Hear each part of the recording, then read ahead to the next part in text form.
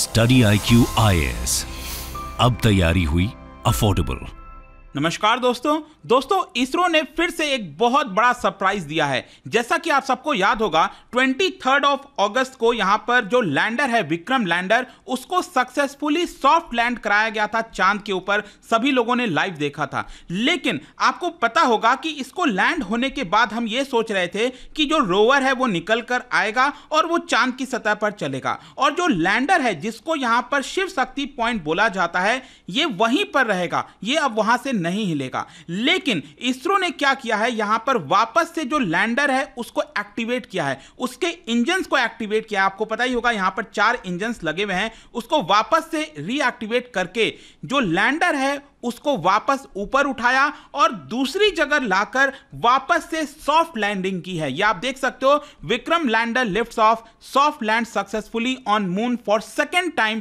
says ISRO. तो इसके बारे में आपको डिटेल से बताऊँगा क्या हुआ और इसमें एक और बहुत ही इंटरेस्टिंग स्टोरी है। 2019 में जो लैंडर है, उसके अंदर पाँच इंजन लगे हुए थे, वापस से हम उसको चार इंजन पर ले आए। वो सारी चीज़ें भी मैं बताऊँगा, काफ़ी कुछ जानने को है, चलिए आगे बढ़ते हैं, लेकिन उससे पहले ध्यान रखना है, अगर आप यूपीएससी 2024 की प्रिपरेशन कर रहे हैं और एक ऐसा बैच चाहते हैं जिसके अंदर प्रिलिम से लेकर इंटरव्यू तक की पूरी तैयारी कराई जाए। तो इसके लिए आपको हमारे वेबसाइट ऐप पर जाना है। कमेंट सेक्शन में भी इसका लिंक है, वहाँ पर जाकर यूज़ करना है कोड अंकित लाइव, ताकि इस कोर्स को आप सबसे कम दाम पर ले पाएँ। और इसके अलावा अगर आप एमसीक्यूज अटेम्प्ट करना चाहते हैं तो मेरे इंस्टा पेज पर जा सकते हैं। वहाँ पर स्टोरीज में जितने भी एमसीक्यूज हैं, वो आप अटेम्प्ट कर पाएँगे। चलिए शुरुआत करते हैं और सबसे पहले ये देखते हैं कि एग्जैक्टली exactly हुआ क्या है। देखिए इंडियन स्पेस रिसर्च ऑर्गेनाइजेशन उन्होंने ये कहा है कि विक्रम लैंडर को दोबारा से, जी हाँ, दोबारा से सॉफ्ट लैंडिंग कराई गई है। और कितना? बताया जा रहा है कि जहाँ पर विक्रम लैंड किया था, जिसको शिव शक्ति पॉइंट बोला जाता है,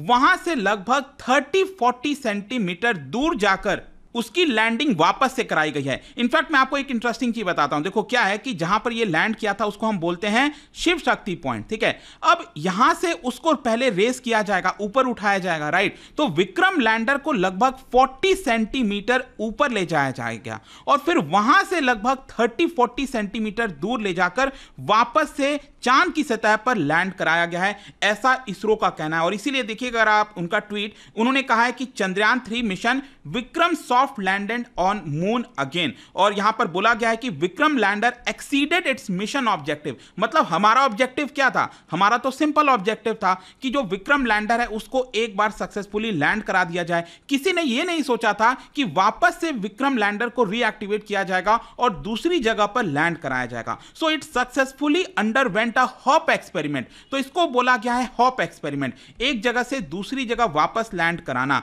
On command it fire the engine elevated itself by forty centimetre मतलब कि यहाँ पर इंजन फायर करने के बाद पहले वो 40 सेंटीमीटर अबव गया, ऊपर उठा और फिर वहाँ से लगभग 30 से 40 सेंटीमीटर दूर जाकर वापस से इसको लैंड कराया गया है। देखो, अगर आप दूरी देखोगे तो बहुत ज़्यादा नहीं है, लेकिन स्टिल ये करना अपने आप में बड़ी बात है, वो मैं आपको आगे बताऊँगा। और इसके साथ साथ यहाँ पर जो वीडियो का फुटेज है, वो भी रिलीज़ किया गया है, मैं आपको दिखाता हूँ। ये अगर आप देखोगे वीडियो फुटेज जो रिलीज़ हुआ है, यहाँ पर आप देखिए इसको ध्यान से।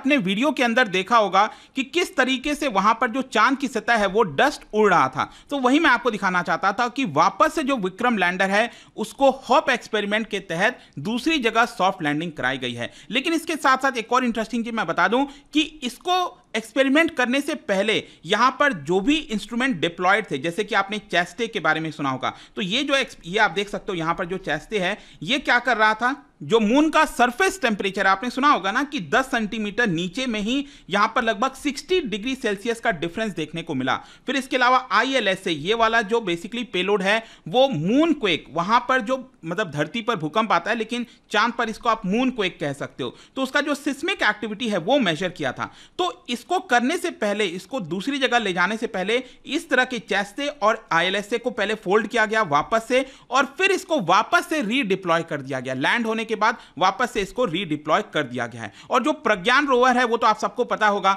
दो दिन पहले खबर आई थी कि उसको स्लीप मोड में डाल दिया गया एक्टिवेट कर दिया गया, ताकि जब दोबारा से वहाँ पर दिन होगा लूनर डे स्टार्ट होगा, तब उसको एक्टिवेट करने की कोशिश की जाएगी। लेकिन क्वेश्चन यहाँ पर यह है कि यह इतनी बड़ी खबर क्यों है? यह इतना बड़ा अचीवमेंट क्यों बताया जा रहा है? देखो, इसका सिंपल अर्थ ये हुआ कि अगर हम किसी चीज़ को लैंड करा सकते हैं तो वापस से हमारे पास कैपेबिलिटी आ गई है कि उसको उसको हम धरती पर अगर वापस लाना है तो उसकी क्षमता आगे आने वाले मिशन में हमारे पास आ जाएगी। आपको पता है ना कि हमारा आगे चलकर यह प्लान होगा कि जो सैंपल रिटर्न मिशन है मतलब मून पर पहले हम लैंडर भेजेंगे रोवर भेजेंगे वहाँ पर जो रॉक है उसको इकट्ठा करेंगे और उसको वापस धरती पर ला, लाने की कोशिश करेंगे। वो आगे आने वाले मिशन में। यहाँ पर तो होना पॉसिबल नहीं है ठीक है? वो ऐसा बनाया नहीं गया है। लेकिन ऐसा करने के लिए पहले ही हमारे पास इस तरह की क्षमता आ गई है कि किसी चीज़ को लैंड कराकर वापस से हम उसको रीलैंड करा सकें। तो इसके लिए बहुत इंपॉर्टेंट हो जाता है। एज ऑफ़ नाउ अगर आप देखोगे तो कोई मिशन प्लान तो नहीं किया गया ऑफिशियली बोला नहीं गया चंद्रयान फोर या चंद्रयान फाइव के बारे में। लेकिन अगला मिशन गगनयान प्रोजेक्ट होने वाला है। आपको पता है कि इसमें 400 किलोमीटर अबव अर्थ जो स्पेस है, वहाँ पर ले जाया जाएगा क्रू क्रू को और तीन दिन तक का ये मिशन होगा, वापस धरती पर लाने की कोशिश की जाएगी। वैसे मैं आपको बता दूँ, चाइना ने ये ऑलरेडी कर दिया है। जो सैंपल रिटर्न मिशन होता है, चाँद से वापस लाना और 2024 में चैंगी सिक्स के माध्यम से दोबारा करने वाला है चाइना। और इसीलिए हमारे लिए भी इंपॉर्टेंट हो जाता है कि इस मिशन को हम आगे चलकर सक्सेसफुली कंडक्ट करा सकें। जहाँ तक नासा की बात है तो आपको पता ही है अर्थमिस थ्री मिशन के तहत नासा यहाँ पर एक बार फिर से crew crewed lunar exploration mission को लॉन्च करेगा, लेकिन वो 2025 के बाद ही हो सकेगा पॉसिबल खैर, यहाँ पर एक इंटरेस्टिंग चीज़ जो मैं आपको बताना चाह रहा था, वो ये है कि चंद्रयान टू अगर आप देखोगे, जो 2019 वाला मिशन था उसके अंदर बेसिकली पाँच इंजन लगे हुए थे। एक्चुअली क्या है ना, मैं आपको बताता हूँ, चंद्रयान वन मिशन गया था 2008 में। तो 2008 के समय जो सोचा गया कि अगला हमारा जो मिशन होगा चंद्रयान टू, जब उस समय सोचा गया, तब चंद्रयान टू मिशन में पहले बोला गया कि चार जो इंजन है, वो डिप्लॉय किए जाएँगे लैंडर में। चार इंजन होंगे। लेकिन आगे आगे चलते चलते जब जब चीज़ें डिले होती गई और 2019 में जब फाइनली चंद्रयान टू लॉन्च हुआ था तब उस समय एंड मूवमेंट पे यहाँ पर पाँच इंजन उसके अंदर डाल दिया गया था। पाँच मतलब एक, दो, तीन, चार और सेंटर में एक और इंजन डाल दिया गया लैंडर के। और ये पाँच इंजन डाला गया था पिछले वाले मिशन में। लेकिन जैसा कि आप सबको पता है कि वो आपका फेल हो गया था चंद्रयान टू मिशन और लैंडर जो है वो क्रैश हो गया था, जिसको आज की डेट में हम तिरंगा पॉइंट से नाम से जानते हैं। लेकिन यहाँ पर जो साइंटिस्ट है, उनका यह कहना था कि एंड मोमेंट पे ये जो पांचवा वाला इंजन डाला गया था, इसकी वजह से बहुत सारा कंफ्यूजन आ रहा था। और कहीं ना कहीं आप कह सकते हो, ये जो कंफ्यूजन क्रिएट हुआ, उसी की वजह से ये जो हमारा मिशन था चंद्रयान टू को लैंड कराने वाला, वो सक्सेसफुली शायद नहीं हो पाया था। खैर, वापस से चंद्रयान थ्री मिशन में साइंटिस्ट ने यही सोचा कि हम, हमें चार इंजन के साथ जाना चाहिए। तो लैंडर में इस समय जो गया है, वो चार इंजन के साथ गया है। और अब हम उसको काफ़ी अच्छे से सक्सेसफुली लैंड करा पाए हैं और दोबारा करा पाए हैं। अब क्वेश्चन ये है कि आगे रोवर का क्या है? देखो, लैंडर की हमने बात कर ली। देखो, रोवर यहाँ पर स्लीप मोड में जा चुका है। जब आगे वापस से लूनर डे स्टार्ट होगा, तब उसको रिएक्टिवेट करने की कोशिश की जाएगी। यहाँ पर आपको पता है, ये शिव शक्ति पॉइंट है, जैसा कि मैं आपको बोल रहा था। वहाँ से रोवर ऑलरेडी चल चुका है, और आप देख सकते हो, इस तरह का उसका पूरा जो पाथ है, वो रहा है। और आपको पता ही होगा कि यहाँ पर एक जो क्रेटर है, वो आ गया था सामने, जिसकी वजह से उसको अपना पाथ चेंज करना पड़ा था। पाथ चेंज करने की वजह से यहाँ पर जो टोटल डिस्टेंस उसने तय किया है अभी तक? लगभग 100 सेंटीमीटर के आसपास बताया जा रहा है। सॉरी 100 सेंटीमीटर नहीं 100 मीटर के आसपास, ठीक है? तो लगभग रोवर ने 100 मीटर तय कर लिया है और अभी यहाँ पर इसको रख दिया गया है, ये जो पॉइंट आप देख रहे हो, और वहाँ पर वो स्लीप मोड में चला गया है। अब आगे क्या होगा? देखो, अब क्या है ना कि देखो, ये ये मिशन हमने कहाँ पर लॉन्च किया?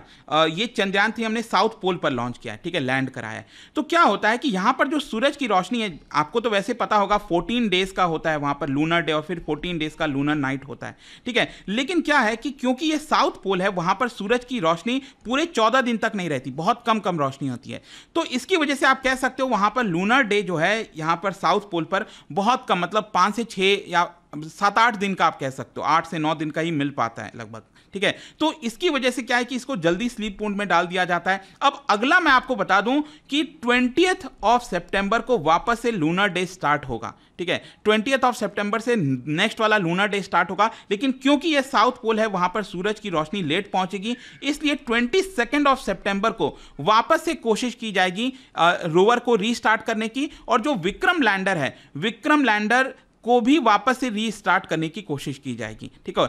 देखते हैं आगे क्या होता है बट आई होप कि इस वीडियो के माध्यम से आपको काफ़ी कुछ जानने को मिला होगा। और जाने से पहले एक इंटरेस्टिंग क्वेश्चन ये काफ़ी हद तक माना जाता है कि moon is formed from the debris left over after the giant impact between earth and Mars जो जायंट इंपैक्ट हुआ था, उसकी वजह से जो डेबरीज लेफ़्ट ओवर था, उससे कहीं ना कहीं ये बना था। उसको हम क्या कहते हैं? जो मून की हम बात कर रहे हैं। तो इसका राइट आंसर आप सबको पता है, मेरे इंस्टाग्राम पर तो मिलेगा ही। वहाँ पर अगर आप नहीं हो, कोई बात नहीं टेलीग्राम से ले सकते हैं इसका सही उत्तर। मैं कई सारे जो एमसीक्यूज हैं, वो यहाँ पर स्टोरीज में डालता रहता हूँ। बाकी अगर आपको पीडीएफ चाहिए तो टेलीग्राम पर आइए अलग अलग सोशल मीडिया पर आप जुड़ पाओगे। और जैसा मैंने आपको बताया यूपीएससी की अगर आप तैयारी करो just use the code Ankit live to get maximum discount and I hope की वीडियो आपको पसंद आया होगा। मिलता हूँ आपसे next time till then thank you very much see you soon study I Q I A S तैयारी हुई अफोर्डेबल